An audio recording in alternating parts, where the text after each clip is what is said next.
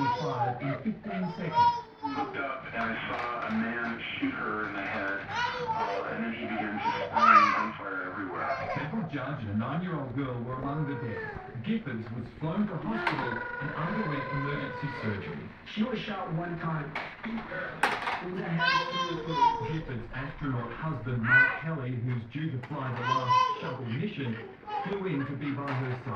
Not surprising that today Gabby was doing what she always does, listening to the hopes and concerns of her neighbors. The gunman, 22-year-old Jared Loughner, was arrested by police. He had left anti-government rants on the internet. Police are searching for a second man. We have to secure the border. 40